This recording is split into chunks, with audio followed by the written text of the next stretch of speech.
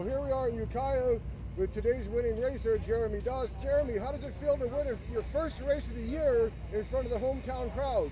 Uh, it feels great. It feels uh, good to come back to Ukiah Speedway, my home track, and uh, pick up the win. He really gives us some momentum going to the rest of the season, and hopefully we can keep it going. Now, can you tell me what the Kulwicki Development Program is all about?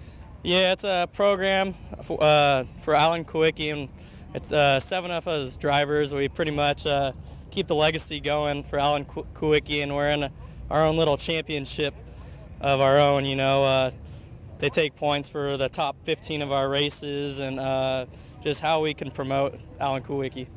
Who was Alan Kulwicki?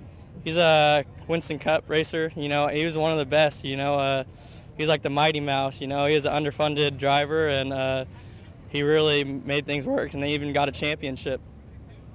Well, is there anybody you'd like to thank for this? Oh yeah, I'd like to uh, thank I-5 Tire Factory, SNS Enterprises, Ernest Performance, Kulwicki Driver Development Program, um, the JD Motorsports crew for coming out and helping. Uh, all my fans, all the mothers for coming out on Mother's Day. Uh, just really appreciate it.